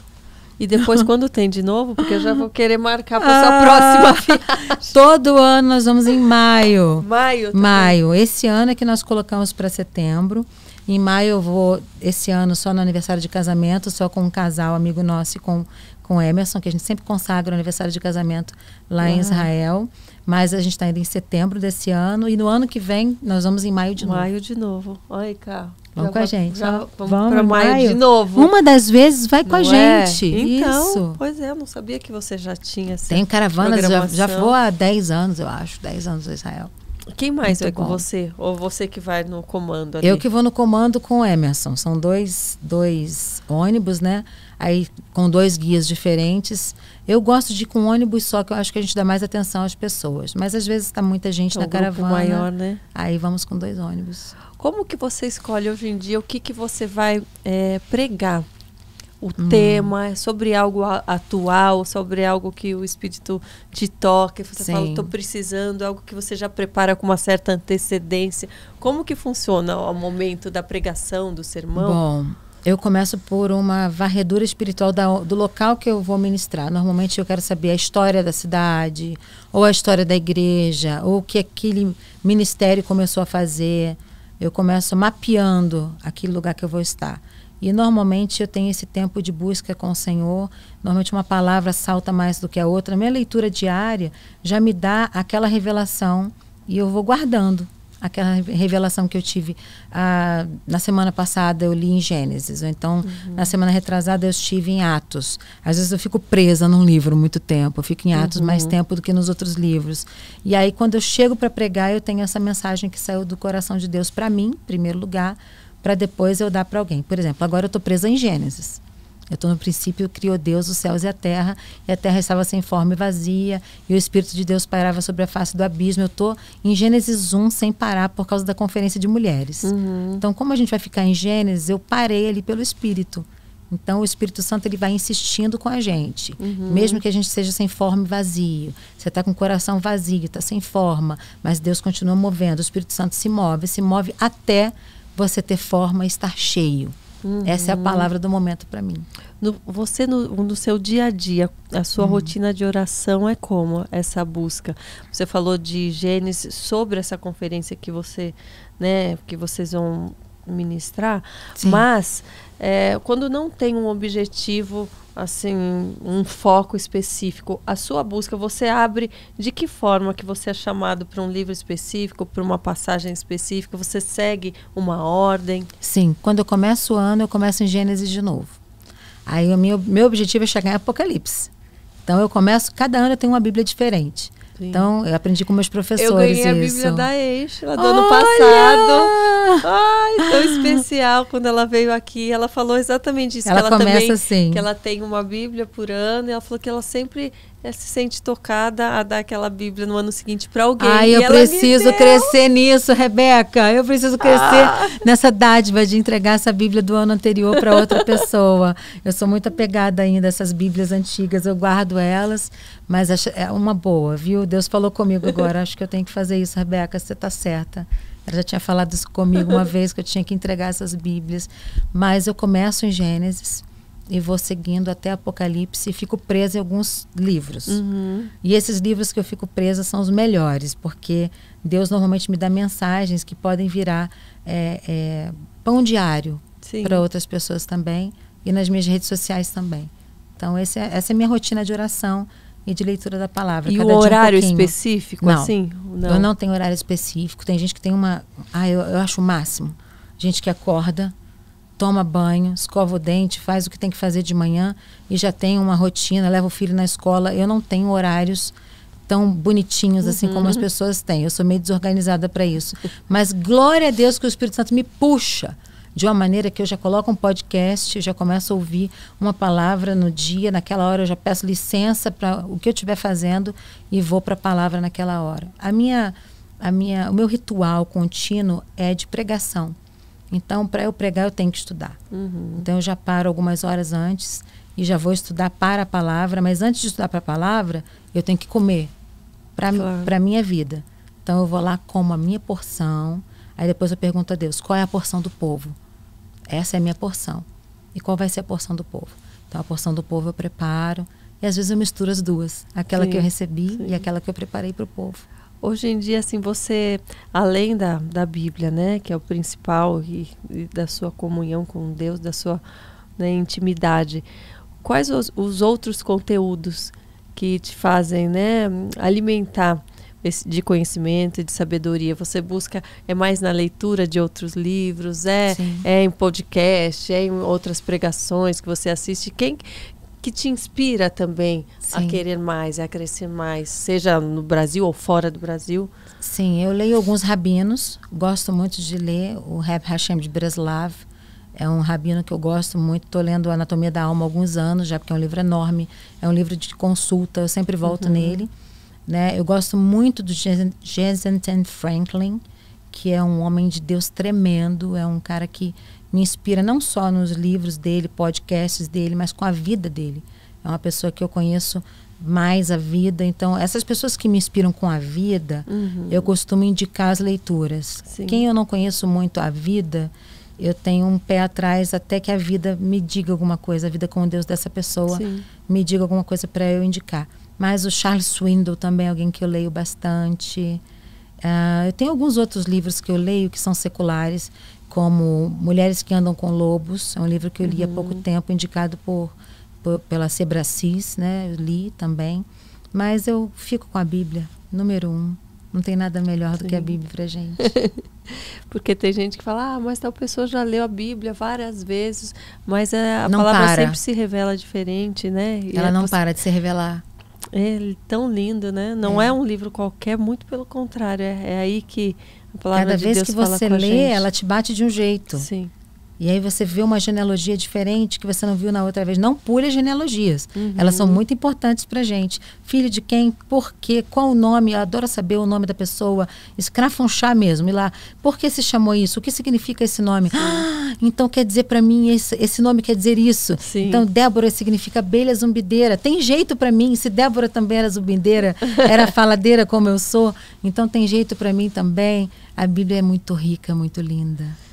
Você se sente é, motivada hoje em dia a aprender o que mais? O que, que te motiva hum. a seguir adiante? Hum. Aonde você quer ainda crescer mais ou realizar mais?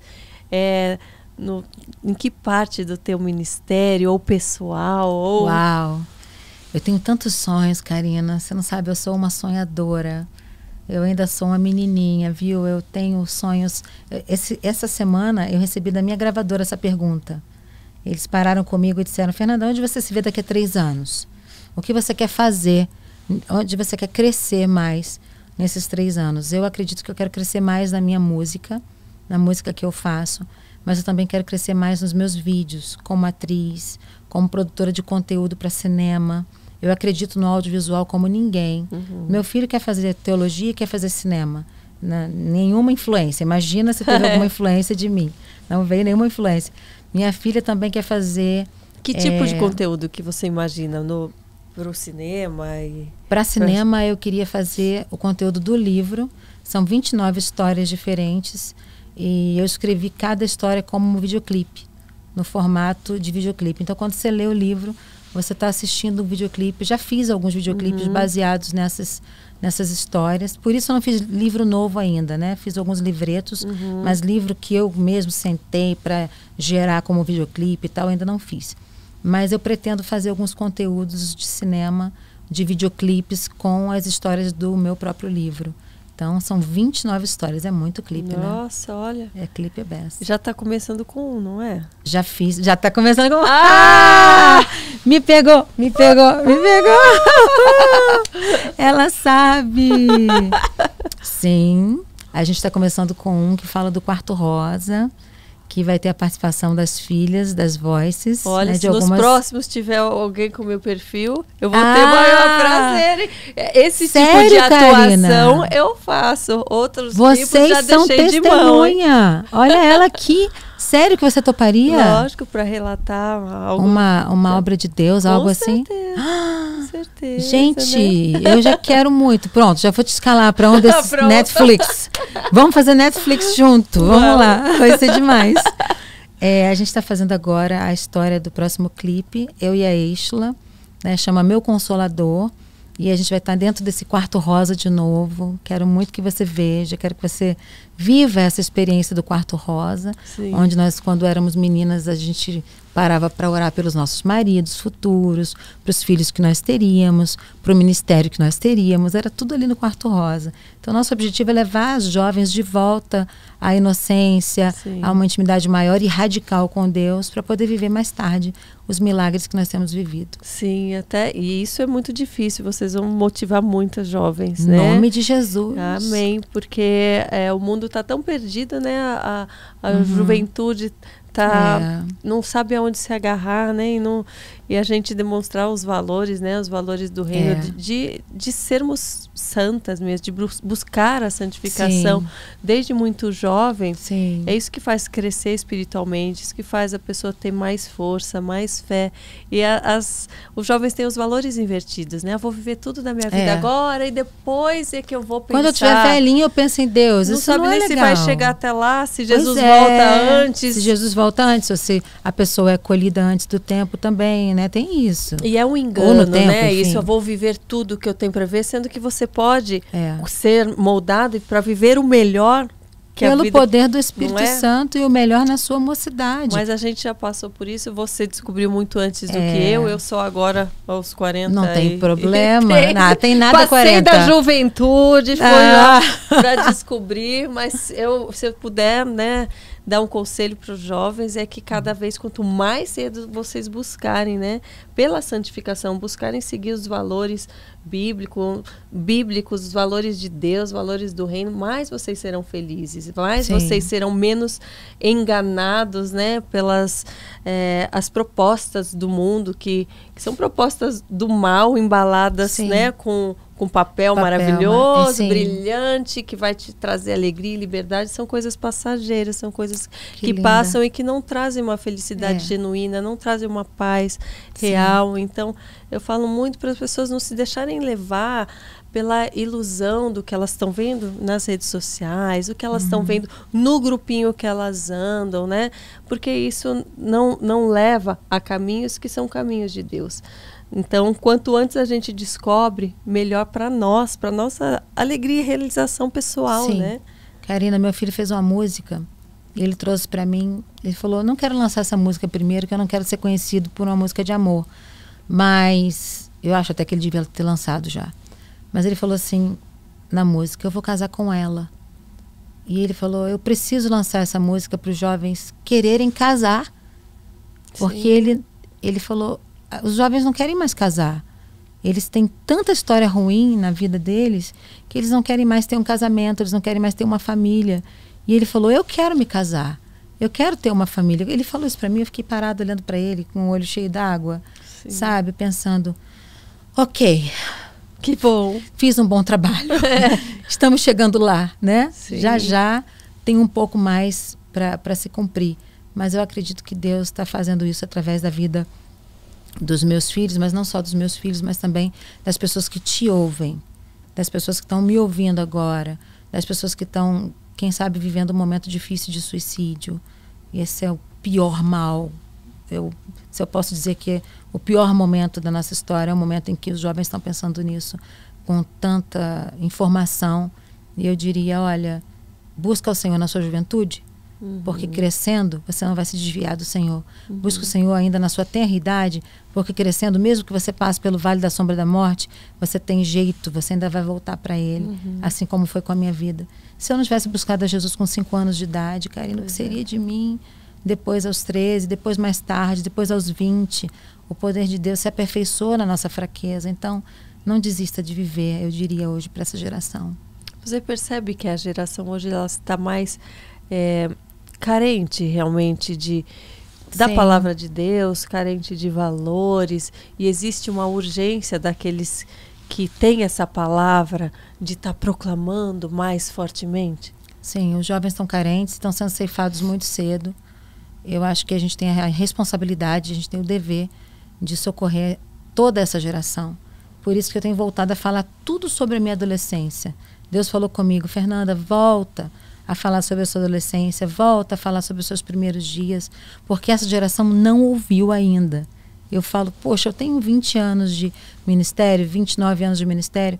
Deus, eu estou voltando a contar as mesmas histórias. Deus fala comigo, sim. São outras gerações. É outra geração que tem que ouvir que você teve esse coma alcoólico. Tem que ouvir que você pensou em se matar. Tem que ouvir que você sofreu sim com a sua família, que você sofreu com os namorados que você teve em épocas erradas, antes do tempo. A gente gravou uma música, eu e a Esla. Meu pai me falou pra eu namorar na hora certa. Minha avó me ensinou. Quem não quer casar, não namora. e aí a canção vai falando como um, um testemunho de vida. Mas eu me envolvi com um rapaz, perdi a inocência, minha paz. Pra quê? Pois perder é. a paz. Para que perder a inocência? É. Então a gente está voltando ao começo de tudo e contando para essa geração que a gente viveu. Agora ouvindo sua voz tão linda, né? Que música tá, tem tocado mais seu coração nesse momento? Porque acho que tem fases, né? Que você, para você cantar mesmo, que música você tem ah, cantado e, e usado para louvar a Deus nos seus nesses dias atuais? Sabe que tem uma música que eu gravei agora há pouco tempo? Ela fala sobre a ilha de Patmos, né? Escreve. Ela diz: Escreve para a minha igreja sobre o meu reino, seu futuro lá. Escreve a canção que os anjos cantam e que muito em breve minha igreja irá cantar. Fala sobre a volta de Jesus e a ordem de Jesus a João na ilha de Patmos. Foi um clipe muito forte. Foi o Robert Shai que dirigiu e ele trouxe o Ed, um ator né, da Record, para fazer o, o, o papel de João. E foi maravilhoso porque a presença de Deus nos tomou de um jeito e o Ed falou comigo assim, Fernanda, eu fiz tanto papel que bati em mulher, sabe? Então. E agora eu tô aqui na cena fazendo Jesus, fazendo, fazendo João, e Jesus falando comigo. E ele, nós nos emocionamos muito na cena. E essa música me persegue, sabe, Karina? Eu tô o tempo todo escreve. Escreve e fala para minha geração, escreve e fala para o mundo, escreve e fala para as pessoas, vai nos programas de TV, avisa que eu estou voltando, avisa que eu quero transformar a vida deles agora faz com que eles escrevam também na tábua do coração deles aquilo que eu tenho para eles. E essa tem sido uma urgência para mim, escrever. E essa música não me larga. É minha, faz parte do EP do Eden Eden, mas às vezes eu acordo com essa canção. Escreve, Fernanda, porque é para mim também. Sim. Tem um coral de anjos no meio da canção. Aliás. É linda, né? A gente já vai enxergando assim, né? Você vai contando. Vai entrando. Gente... Aliás, uma experiência que eu tive em Israel, já que você falou de Israel, única, eu tenho isso gravado. Eu estava na igreja em Betesda e comecei a cantar. A tua glória faz. E o meu baterista estava filmando. Só estava eu na igreja e o baterista. E a igreja é famosa pela acústica que tem. Uhum. Com que eu vou e mais. Assim, fora do tempo mesmo. Me leva bem junto a ti me faz flutuar. Ele gravou. Eu estava dentro do avião, já voltando para o Brasil. Quando eu coloquei o fone, ele falou: Ô Gran, tem mania de me chamar, Ô Gran, ouve isso aqui para mim. Aí quando eu coloquei no ouvido, tinha um coral comigo. Que não estava rebatendo com a igreja, não tinha a ver com o eco da igreja. Sim, Era um vocal no tempo e de homens. E só tinha eu na igreja. Gente. Eu, menino, filmando eu, que hoje é pastor, e fazia A tua glória faz o coral. Bem grave. Hum. Com que eu vou e mais, me leva bem junto a ti, me faz flutuar. É o coral. Amém, amém. Quando eu vi isso, eu fiz a mesma coisa. Falei, Léo, manda pro nosso técnico. Gente. Manda Ai. pro nosso técnico, porque eu posso estar enganada, eu não posso falar besteira por aí. Aí mandei pro Renatinho. Renatinho ouviu e falou: Não, separei em dois canais aqui, tô ouvindo, isso aconteceu lá.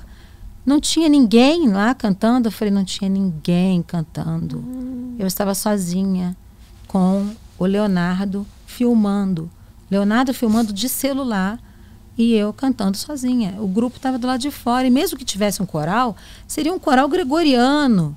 Seria um coral Nossa, em português, é. seria um, um coral gregoriano. Como eu não veria esse coral lá? Olô. E eu tive uma das maiores experiências com Deus em Jerusalém. E onde lá. foi parar essa gravação? Tá no meu celular em algum lugar. Menina, Posso mandar para você depois. Que lindo. Você pode ter isso, não tem problema. Ai, que lindo. Eu não conto em todos os lugares, porque as pessoas não creem. Ai, como não pode crer? Mas se você crê, eu mando para você. Que lindo, que, que coisa linda. Foi lindo. Não foi a primeira vez que eu ouvi anjos cantando, né? Tem uma outra canção. As águas do trono te lavam iniquidade. No dia que eu caí no poder de Deus, que eu vi os anjos, vi Jesus, eles cantavam. Oh, oh, oh, E só eu ouvia. Várias vezes. Então a experiência foi muito forte. Nossa. São coisas que eu quero reviver, uhum. coisas que estão aí e às vezes eu revivo em sonhos, às vezes eu revivo durante uma ministração, alguma manifestação angelical assim. E hoje deu pra, dei para falar contigo sobre isso. Hoje Deus me deu essa oportunidade de contar para você, porque você crê. Que linda. Amém. Que linda. Ai, quem me dera ter um dia experiências como essa. Ah, você vai buscar e você vai ter sim, em nome de Jesus. Amém. Ai. Anjos por todo lado agora. Ai, ai, ah, canta é Jesus né? para ela. É tão bom, né? É muito boa a presença de Deus. Ai, canta mais um pedacinho. As águas do trono te lavam iniquidade. O poder do sangue liberta de verdade. Oh, oh, oh, oh, oh, oh, Também fico emocionada. Ai, gente, olha que eu já, já escondo isso aqui porque ai, é difícil, viu? Oh, Jesus lindo. Ai, meu Deus. Essa canção se chama Águas do Trono. Que coisa linda. E ela nasceu num momento de espontâneo, assim. Então, de onde nascem as tuas composições, pois assim? é. Cada vez de uma maneira? É, não tem uma regra. Às vezes as canções vêm. Ela vem a amigos, letra, ou vem a letra já com a melodia? Vem a letra com a melodia. É. De uma vez. Raramente, quando o Emerson faz a melodia, aí eu coloco letra com ele. Mas quando eu estou fazendo as canções, vem a melodia e letra junto. Ou até quando eu não estou tocando, estou cantando sozinha, vem a letra e a melodia junto. Mas isso é um mistério, sabia, Nossa, Karina? né? É um mistério. Eu que sou uma musicista frustrada, né? Eu que não tenho tanta música no violão e no piano, tenho pessoas que tocam mais do que eu, graças a Deus, né? Na voz você chegou a fazer alguma algum preparo específico? Depois que Porque, eu já estava na estrada. É, você, você canta tão é, lindo assim, obrigada. uma voz tão limpa, né? Tão é, afinada. não, não tem tava... nenhum treino. Não, não tem. Oh, que lindo, não que tem. Benção, mas depois que eu tive um calo muito sério nas pregas vocais, eu tive um nódulo. Foram dois nódulos e um cisto. Teve que fazer alguma cirurgia? Alguma Graças a Deus eu não, não, operei. Não operaria hoje de novo. Tem um cisto que às vezes enche de água. Aí eu volto para fono, faço fono e continuo cantando. Eu tenho uma voz mais de drives, tenho um roquinho na voz, mas é da voz mesmo. As pessoas perguntam, mas faz parte do meu timbre. É bonita. Ah, né? É? Se você gostou, é muito linda. Amém. Mas eu faço fono, fonoterapia. Fiz um pouquinho de aula de canto depois que já estava estourada mesmo, para poder usar corretamente. Uhum. Mas a parte falada sempre é a parte que a gente gasta um pouco mais. Mas eu cuido da voz sempre. Quando você teve essa primeira inspiração da primeira música, como foi? Você se lembra? A primeira música evangélica foi essa que eu acabei de cantar para você.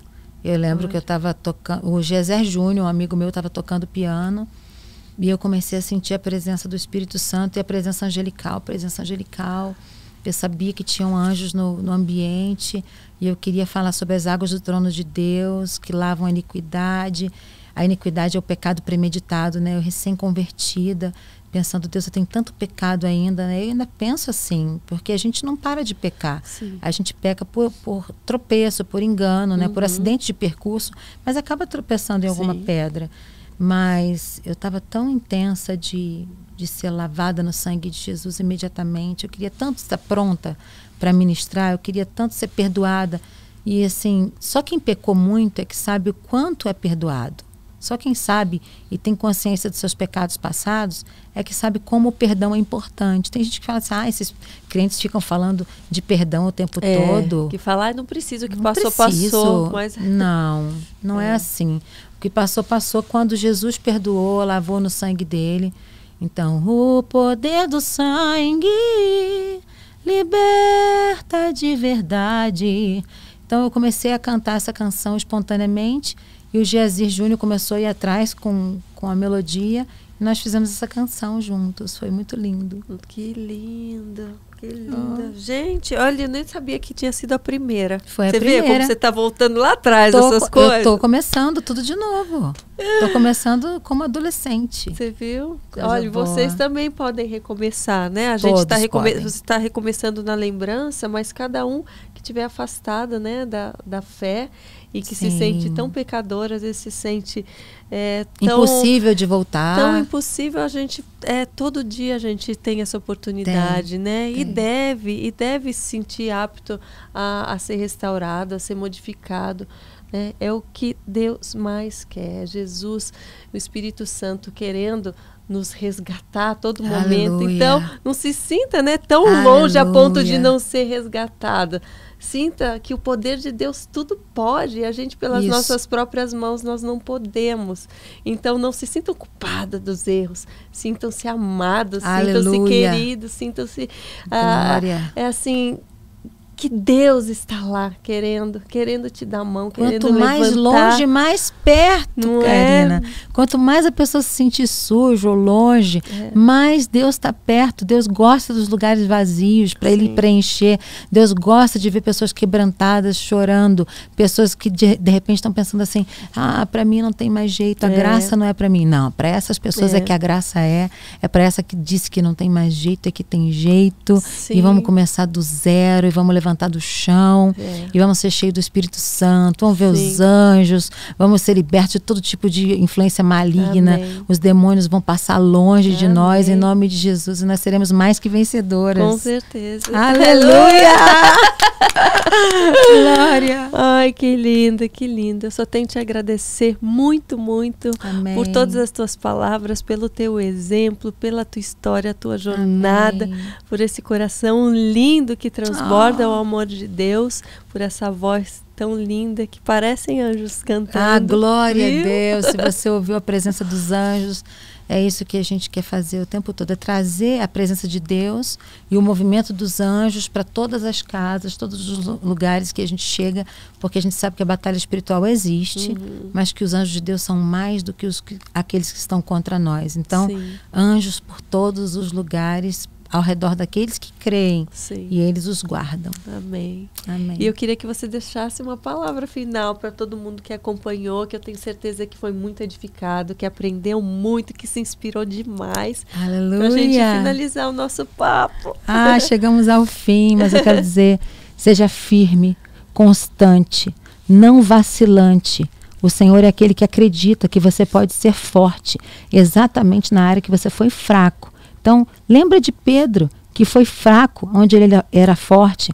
Lembra de Paulo, quantas vezes ele naufragou, quantas vezes ele tomou surras em praça pública e nem por isso ele era menos amado por Deus. Pelo contrário, ele foi o apóstolo da fé. Então você também pode ser muito forte na área que você já foi fraco na vida. Sua pior dor pode ser o seu maior ministério. Em nome de Jesus. Em nome de Jesus. Amém. E se você gostou do nosso bate-papo, do nosso positivamente. Lembre-se de compartilhar com todos, lembre de deixar o seu comentário, de fazer seus pedidos, quem vocês querem ver aqui também. Ó, realizamos hoje Olha o só. pedido de milhares de, de pessoas que pediram por ela. Que então, bom. é uma honra realizar também a vontade de vocês. Sejam muito bem-vindos e sejam sempre edificados, restaurados, motivados, inspirados. Um beijo no coração de vocês Coisa e até linda. o próximo Positivamente. Tchau. Tchau.